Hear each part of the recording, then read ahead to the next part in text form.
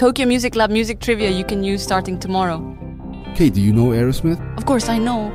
Do you know the name of the vocalist? Uh. Do you know why it's so acclaimed musically? Oh! Did you know that they love Japanese taiyaki and eat it before concerts? What? Regular distribution every Monday and Thursday, and chat session Tokyo Backstage every Saturday. Search for Tokyo Music Lab in your podcast app. Don't miss it.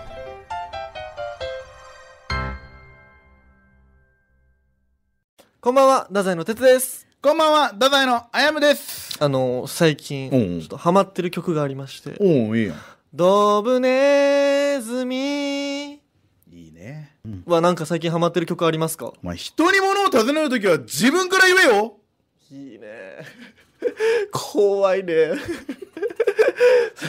そこなんやっていうところでね、その違う違う違う、いいっすね。これど、どう？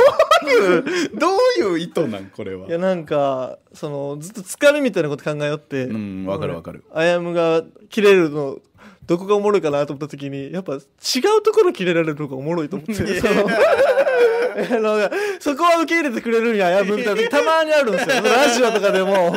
いや俺そっちのつもりで言ってないのに。それを漫才に生かせんかなと思って、でこちょっと作ってみてただやばいやつやって、俺が。だって、鉄ちゃんと言ってんのに、俺がそれ切れるのは変なやつやん。いやいやいやいや言ってはないし お前のことドブネズミって言ってるから。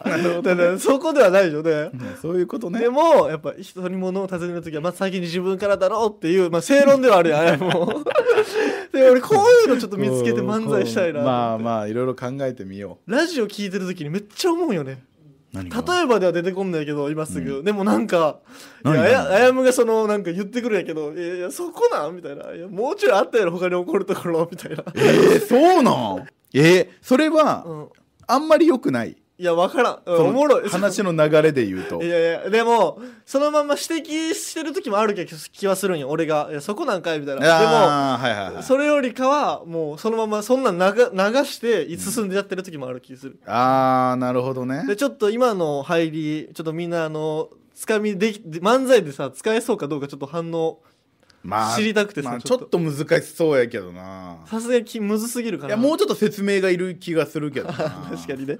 うん。その後よなでもうんうん。ちゃんと、そう哲が俺のことをドブネズミって言ってるみたいなのがまず伝わらんと思うし。確かにね。ラジオではね。ああなるほど、ね、まあ後半にねどんどんねこういうのやってってね。まあ、たただ歌ネタはね。えー、もうあったけどそのなんか言われるやつ。歌ネタはねみたいなやつあったけど、ねいやお前もそっち側なんや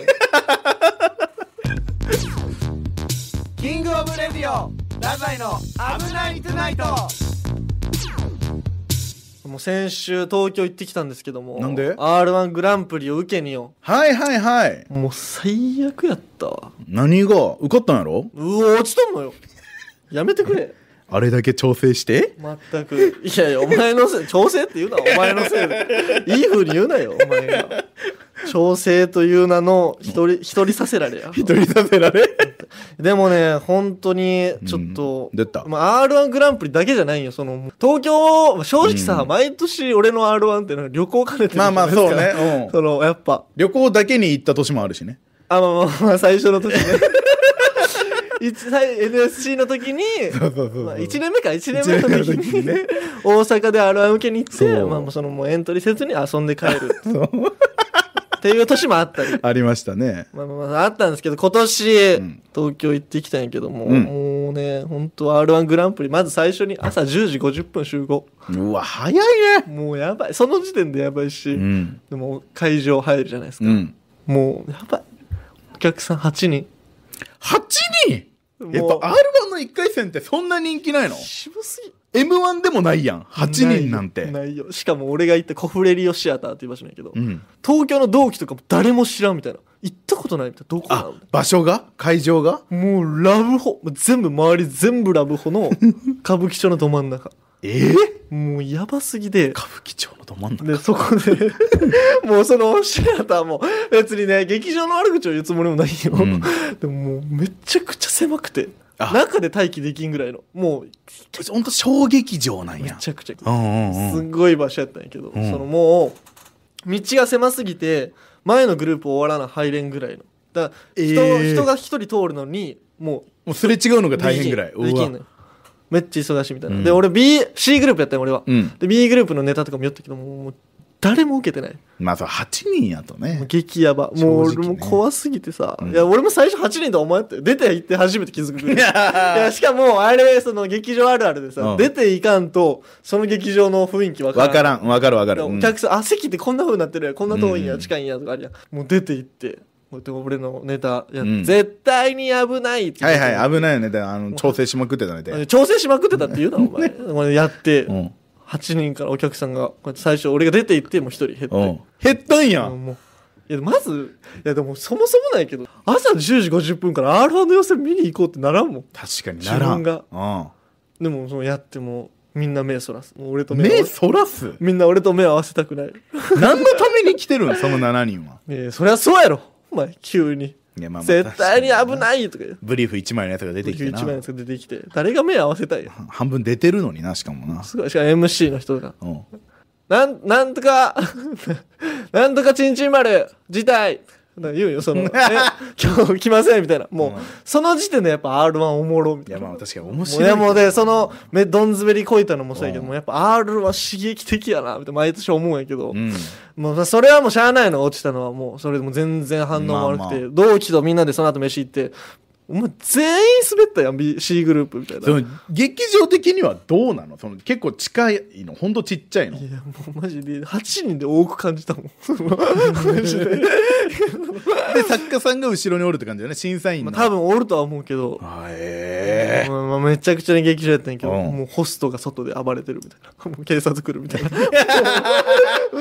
それはね歌舞伎町あるあるやもんな。いやいやもうすごい刺激的なところだったんやけど、もうでその日夜もう落ちました。もう最悪や、んで東京まで来てもうでも楽しもうってこっからは旅行モード全開。で、うんうんうん。一気に。で東京におる先輩のサトシさん男気サトシさんって俺の先輩のうん。家に泊まってたんやけど、うん。もうそこであの澤さんっていうねカーネギーの澤さんっていう先輩と福岡の先輩なんやけど澤さん受かったんやけど R1 一回。ね受かってたね。で3人で泊まっててタコパしようみたいな、うんであのサトシさんが松井けむりさんから令和ロマンのおうおう。めちゃくちゃいいたこ焼き器を買ってもらってて。m 1王者や。そう M1 王者から。でそれを使ってタコパしようみたいな、うん。でお買い物行って。でその家着いたんやけどそのタコ買い忘れて。なんで？もう最悪何してんの、で俺俺タコ買ってこいみたいな。俺使い行かされて、うん当たり前やんそんなん。最悪やん。もう R 落ちとんのにタコ買い行かされて。関係ないやろそれ。戻ったらちょっとやばい。あのーガスガスがない。買ってこいうもうわ外気東京もう分からん。もう調べてどこに売ってるかも分からん。もうで戻ってきた。らちょっと氷がない。もう3回。最悪やろ。タコパして、まあ、それは楽しかった。途中で連絡せんのやろうな。楽しかったでいやいいんやけどそれは。う次の日もうもう楽もっと楽しまんと。そうそうよ。そんな嫌な気持ちじゃ帰れんやろ。ラグビー見に行ったのよ。あいいじゃない。大学選手権決勝、うん。雷と大雪で。雪なんもう大雪よ東京は。東京雪降ってたん？知らないの？知らんかった。すごいよ国立が。へまなんか途中からなんかもうやばいな。おかしいなと思ったよ。でなんか俺も調べたりしとってさ空見ながらね。電車の中で、うん。そのもううわ今年2001年生まれ男の子、うん。蛇年。みんなあの厄年ですと。あそうなんや。もうやっぱ感じてたもん。あそっかそうやね。そう。もう国立が雲がブワー来て。うわ 厄年感じて。しかもそこがさ明治対帝京やったよ。帝京大学と明治結構大学熱いんじゃないの？もう決勝戦よ、うん。一番ワンツーよ。うん。もうほんとに帝京にパンパンってツートライ取られて。あらあら。俺明治ファンやからね、明治がやられてるんよ。やばい。やばい。でも明治が一気にうん。いい感じになったよ。いいよ。もう今や攻めろいけってなったら雷鳴ったんで試合中なんです。もう躍動しすぎる。もう最悪よもう本当に。で終わりの。うんもう新宿からサトシさんの家帰ろうって、うん。もう新宿が広すぎて迷子。もうダメ。ともうねちょっと1月ねあんま家出らんときます俺躍動しすぎるちょっと。まだ状況には早いな。そうマジでちょっと誰かあの除霊なんこれ？お祓い？お祓い行った方がいいよ。ちょっと教えてください本当に。今ついてもなさすぎる2024あの年、ー俺もねあのー行ってきた。厄年？いやいや初詣行ってきたああ初詣？い俺行けてなかったよ。そのはいはい。1月2日にインフルなってるからさ、うんうんうん。俺もなんかついてなかったよ。ずっと、うんうん。バイクの調子も悪いし。はいインフルにはなるし、はいはいはい。ああ確かにね。支配人にもちょい怒られなわけじゃない。西田さんも咳してる。はいはい。はい西田さんも咳してる。俺もいまだに咳してる。厄年やんそう。でもこれ良くないなと思って。俺なんでかなと思ったらやっぱ地元の神社に挨拶に行ってないと思う。あそういうのでなるん。や俺毎年行ってるのよなるほどね。は。はいはいこれやと思ってはあ俺こういう時だけ信仰心が強くなるんやけど。ああるよ。で俺あの五穀神社に行ってきてでもちゃんとお参りしてもうそこでもちゃんとおみくじとかも引いて、うん。うんまあ中吉やったけど。まあまあまあでも一応引いてね。に引いて。うん。で今調子いい。やっぱ神社なんかな。でもね書いてあったわそういえば。え？そこにあのでっかくさ今年この人たち厄年ですよって書いてある表みたいなところにあったわ。今年20えっ、と今年23やろ？の年や。んそうですよ。うん。厄年。俺も厄年来たんよ。はあ。えっ、と24とか。やばかったよ。ええ。もう彼女は寝取られるわ。彼女は寝取られるわ。それは厄年で関係あるんか？関係あるよ。親はちょっと病気するし。うん、うちの父ちゃんが病気したりとかもあったし本当姉ちゃんはちょくちょく帰ってくるようになるし。いやそれはいいやろ別に。こう 怖いけん。あんま帰ってきてほしくない長崎に。そうっていう年やったから。ちょっと2020年やばいないかんとちょっとい？や行った方がいい。絶対行った方がいい。鉄はその厄年は死ぬ多分。え？俺本当に鉄はバイク事故とか危ねえと思ってる23歳で俺死ぬ？俺はそう思ってるななんだえ願ってるやん。お前手合わせてるやん。えやば。お前。新春チャチャチャブルで太宰を神社さんってもらう予定やっなるほど厄年やけ連れてってくれる予定だった。そうや新春チャーチャブルね。お前がインフルエンザで。だからこれも厄年ない俺がインフルになるが鉄にとっての厄年なんよ。やばい。じゃあく俺もなんか巻き込まれるかもしれんやん。黙れよお前がインフルエンザなっとんの？に 何が被害者ずらしとんの？だからやっぱその個人的に行くべきやわ三社参り絶対行くべきやって行けって俺に迷惑かかるってお前。なんじゃお前。かけとんのよ最初から。お前そうやスタートお前からかけとんやんけ？絶対絶対行って頼むわ。お祓いも行こう。謝りイライラしてきたおい 追い払おうこいつを。King of Radio 太宰の危ない tonightちょっと前の話なんやけどはい。俺さここでウィキペディア作ろうっていう回の時にさ、うんうんうんあのビブリオバトルの全国4位だっていう話をしたああったね。あのー俺もう23か月前の話なんやけどそのビブリオバトル OB 会に呼ばれたんですよ。ええ そんな OB 会があるあってこれもうコロナでもう開催されてなかった。それが、まあ、今ようやく落ち着いてきたしうん。ちょっと復活させましょうっていうことで OB 会行ったんよ。おもろ。そしたら会会場入るやん。たら俺が来るってみんな知らんからちょっとざわつくんよやっぱ。えそえ そ長崎県では結構名のし知れたビブリオバトラーなんかままた嘘ついてないかやばいお。いその話題になったとかさ。あやむ来たんや。えー、う本当か？お前新聞お前今度持ってきてやろうかお前新聞。一面にお前でっかく俺がお前やいやある一面ではなかったけけどその。どああ嘘ついた。そう。でも話題おいおいむが来たやむ来たんやあのあのあの男がってそうでそれでもうちょっと楽しく喋ってたんよ俺はもう気持ちいいしかないから知ってる人もいたの？あ知ってる人もいる。はいやっぱ同期とか、うんうん。その一緒に切磋琢磨したそのメンバーやったから。そう。わあなんか今までも本読んでんの？みたいな「い。やでも最近読めてないな」みたいな話をこうはいねみんなでわってやって、うんでまあちょっと流れでちょっと今からビブリオバトルやりましょうみたいいやなんでなその遊戯王みたいな感じなそうそうそう。ビブリオバトルってすげえ簡単でうんその紹介やもんね。本さえあれば、うん。あとは5分間測ればすぐできるから、まあそうね。そういう場でもパッとできるっていうのがいいところなんよ。ビブリオバトルの OB 会やしな。そうそうそう、で俺もまあそれ図書館やったから、うん。まあ、本選んで。でも正直そこにおったメンバー俺負けたことなかったおおもう自信満々や。その大学時代とか、はい。もうもう全然だけ余裕でまあ喋りも多分今もう俺の方がうまいやろ。俺もだって喋る仕事今してるんだかはいら、はいはい。と思って。でビブリオバトルバーってやってん。いやと45人おうおビリやって俺。全然ダメ。これなんでかってうん。もう理由が分かってるんよ。他の人たちはやっぱ大学卒業して社会人になっていろんな経験してやっぱ人生の厚みが出てきてるんよ。いろんな経験して親が亡くなったりとか。でそういうのが乗っかったやつの話はやっぱね面白いよ。どんなね、一方俺 その卒業してすぐ会社とか辞めたりしてうん。その薄い薄いんよ人生自体が。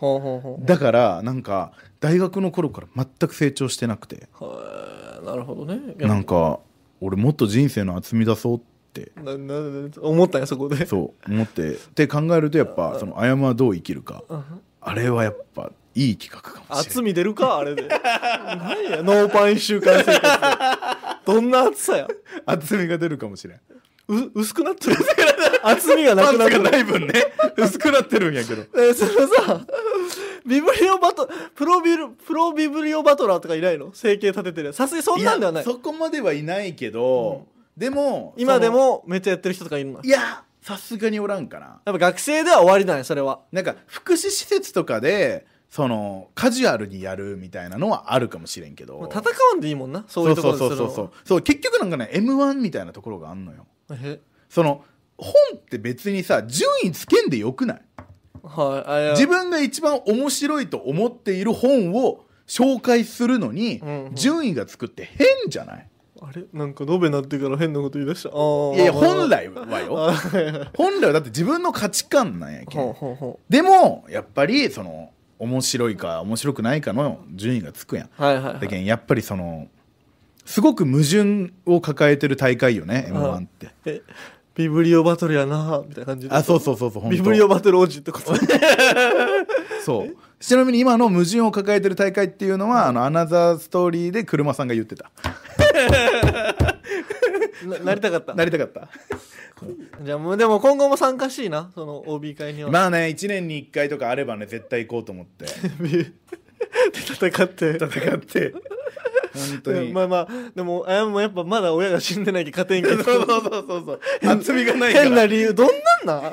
親が死んだら厚み出るって。いやすごかったよその紹介とか。なんかそのあれやったよ。うまくなってた。そう「送り人」のさはいはいはい。っていう映画あってん。あれの原作の本があるの知ってる？の紹介やったんや。そう。でやっぱりその親が亡くなった時に、はいはい。そのその仕事の人に会ってみたいな、はいはでこの本を知ってみたいな。なん厚みがある。そんな経験してえじゃあああやもは何の紹介したんよ。え俺がねあの紹介したのはねあのもっと生きやすくなる方法 もういいって。お前もうそれやめろ。そそういう系の本ばっか買って。な俺だけどこの期間さ自己啓発本しか読んでないから。いってもう自己啓発ばっか買うの。その前に出るのが恥ずかしくなくなる方法とか。だどれが芸人やってんの？なかなか勝てんやったねキングオブレディオ太宰危なくないといやらしい。メッセージ届いてます。ありがとうございますラジオネームスナックはるちゃん。もうええて。えそれなな誰ですか？大阪大阪？もうええわ。もうええわ。和牛さん？やめろお前。別になんだアウトなことじゃない。ななえ犯罪者やと思ってる。いやいやそのあんま良くないからもう解散されるからね。じゃあ使えるんじゃない？いや逆に？うん。スナックはるちゃんからはるちゃんから来てます、前回の配信で、はい。私の激ヤバ投稿を採用してくださりありがとうございます。まあそうだね。まあ快適には前々回になるのか。うんうんうん、うん。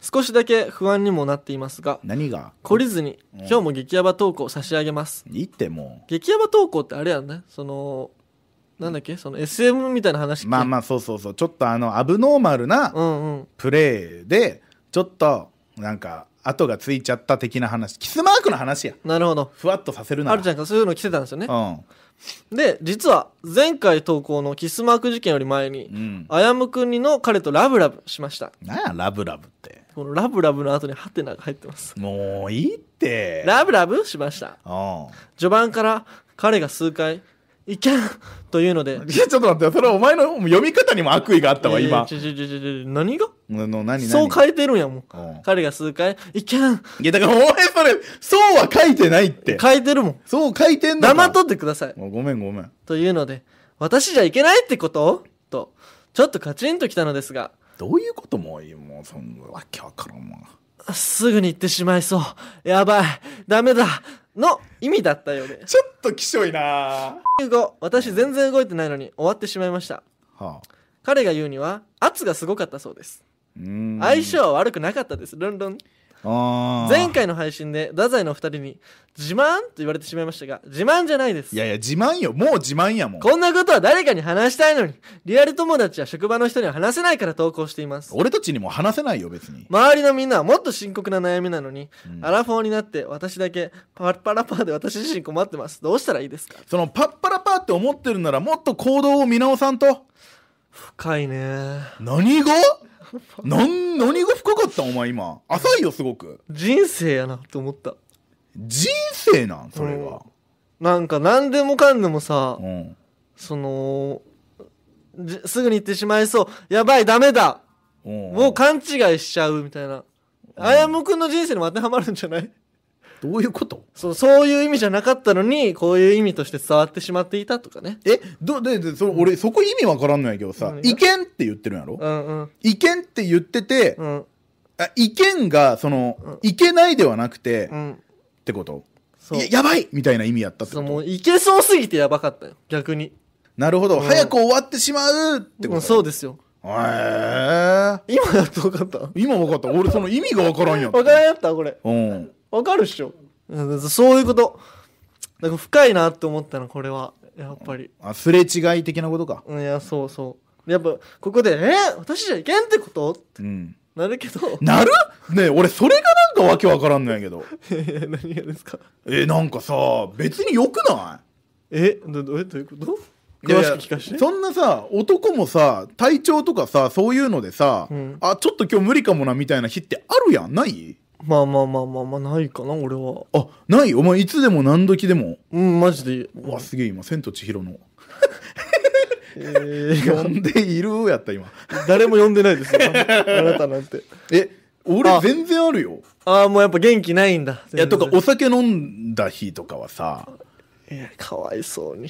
いやでもそれでさ私じゃいけないってことってさ違うやん。別にそれがゴールでもねえし。いやそのちょちょっとカチンとよ。ちょっとカチンときちゃった。いやおかしいよカチンとくるの。えおかしくない？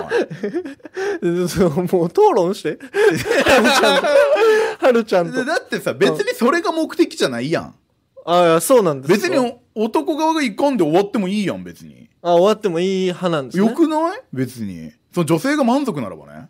ほんほんほんほんほん。いやわ分からん分からん。そのわか俺経験足りんかもやっぱ人生に厚みがないよ。人生に厚みがないかも俺。親が死んでないし いけいけてないいから。けてないから。だからそのまあねその相性は良かったですって結局、うん。だからその自慢じゃないよと言ってますけどまあ自慢ですよねまたこれもまた自慢やんな。うん。まあまあまあそのすごい圧がすごかったそうです。うん。そう。これなかなか書けないです。そう。やっぱり。ラジオのメッセージでもとして。言っとくけどその圧がすごいのがいいってわけでもないしなもうえ別に。はるちゃんと相性合わんね全然。いやそうね。そう考えるとね。それも違うよやっぱり。思想もやっぱ違うわ。ええ全然？あ圧はない方がいい。いやない方がいいってそんなんじゃない。人それぞれやんなんていう巨乳がいいか貧乳がいいかとか言うやん。はいはいはいはい。あんなんそんなんだって別にどっちでもいいやん。はいはいはいみたいなことなんじゃない？その人の体なんやから別に。うんうんそれがなんかいいことみたいに書いたらなんかね。別にそれはよくないですよ。かもうそういうのもダメなんや。そうだいいい風に書くのもダメなんや。いい風に書くのもダメよやっぱり。ちょっとマウントやもんそれ マウント取ってる風に見えるやん。ちょっとでももうう相手が上だって思ったらダメなんやダメダメダメ。下じゃないと。言葉選びって大事やから。なんなんこいつ。絶対そうやって。俺世の中の女性のために俺は今言ってるよ。え 女性のために？そう。みんな違ってみんないい。あ金子みすずですそななんなんお前ずっとそのサンプリングみたいな わざとみんな誰かが言った何かをええ言うみたいな、みんな違ってみんないいんですからいやまあ別にそうそういうことを言いたかったわけじゃないんじゃない？なんだじゃあ哲はどう解釈したんや言ってみろよ。だってだあつただの自慢やって思ってるよただやっぱ自慢やんけ。だから私が上だって思ってるやん自慢ってそういうことやから。いやでもこれ上だとかじゃない。彼との相性の自慢やけど。あ。ここを勘違いしてダメよ。あそういうこと、うん。彼とうん。私はとても相性がいいんですよ。よっていう自慢やから。そうそう。それって別にさでも俺たちに自慢されたってさ、うん、いやそそれは一緒ずっと前からそうや 何を言ってんの？そんな別にその圧自慢じゃないから。圧自慢じゃないんだ。じゃあいいわ。好きにして。だあやむその圧が強い自慢だけ NG やもんね。いやうんダメ。それだけは許せない。それだけは絶対許せない。いやでもこのほんと治療ソウル問題って。はいはいはいありますね。俺マジで本当に今となっては、ん。もうかなりコントロール効きます ねちょっとさ、俺がさあのー本当に悩んだ時にやった話していい？ああもちろん。あのねあのーこうん絶対真似しないでね。絶対真似しないでね。あの俺ね、うん。すげえ治療でそれに悩んでたんよ。まあ正直この話で言うと俺いけない側の人間やったの、はいはいはいはい。それがすごく嫌で、はでそのトレーニングしようって思い立ったことがあってね。それが24とかそれぐらいの時はいはい。の芸人になる前なんやけどその時にそのネットで調べたら炭酸水に芯を入れて鍛えるみたいな方法知ってるこの方法。なんかみ聞いたことありますよ。お前やったことある？ないないない。俺ねやったんよ。やったらさその時さこう あの入れるやん、うん。だからもう最初のね10秒20秒全然大丈夫なんよ。後がやばいの。なんかうわーってこうなんていう全部噛まれてるみたいな。噛まれてる？そう。ピラニアみたいなのに、ええ噛まれてるみたいなのになって。うん。やばいやばいやばいやばいって。痛い。痛い。痛い痛いだけで済めばよかったんやけど俺ねそその日ねその日はね自分の意思と関係なくおしっこが出るようになったんよ。よくない？よよくないやろ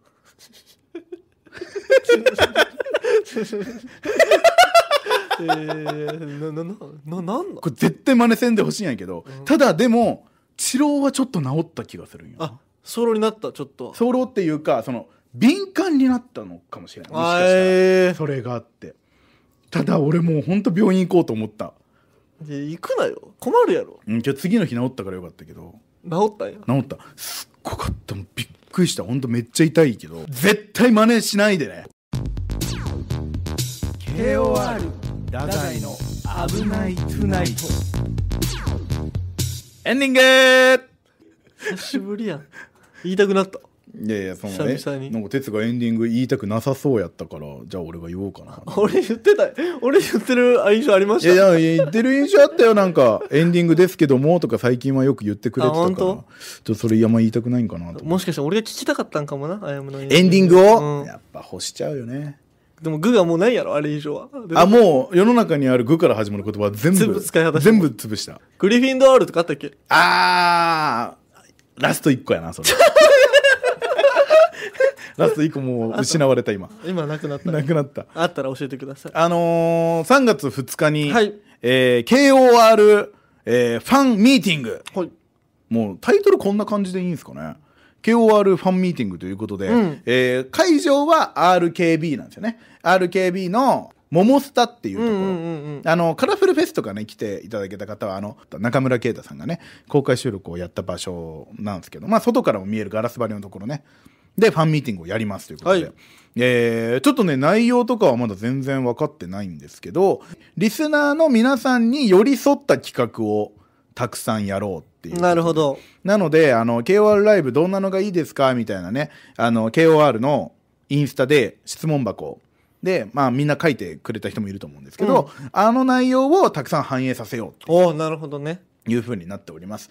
えっと、グッズはもうあるって言っていいですよね。確定だ楽しみだ。グッズは確定でありますので、はい。ぜひぜひ、あのね、ただ3月2日なんですよ。3月2日大体世の中の卒業式って3月1日ですから。ああなるほどね。ああちょっとね被ってるのか。バタバタしてるかもしれないんですけどね。であの進学とかする人はそこから動き出しますから。そうね。うん、で一応時間は午後。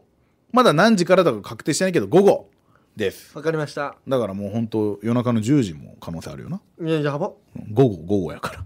まあまあ随時。みんなフォローしてくださったらわかりでます。鉄どんなことしたい？俺はね、うん。まあ、KOR でマジでファンの人ともう対談形式でちょっと喋ってみたいかも。ああなんか面白い、ね、ワンオンワンくらいで。いいうん。マジでちょっとなんかどんな人が聞いてるんかとかも楽しみ。確かに。ないんかみんなの好きな回とかもちょっと聞いてみたい、ああいいね。うん、この回私好きだったとか。こここの哲さんのこの文章とかうんこの言葉が私の人生の糧になって今生きてますあでもダメだ。俺たちはちょっとそれは甘いかもしれない。え？みんなの嫌いな回を聞こう。そうね。戒めとして。危ない。なんか調子乗ってたね調子乗ってた。じゃあみんながこの回ダメですよ、あやむね、さんのこの言葉が嫌いです。嫌いですとかここは本当に面白くないとか、はいはいそういうのちゃんと聞いてなぜカットしなかったんですか？ですから西西田田さんも多分ぜ責められるし そういうひ待ってますんで、う危ないトゥナイト、んねぜひみんな集まってください。よろしくお願いします。おやすみ。おやすみ。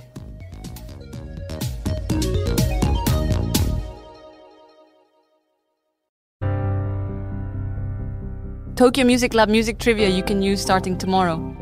Kate, do you know Aerosmith? Of course, I know. Do you know the name of the vocalist?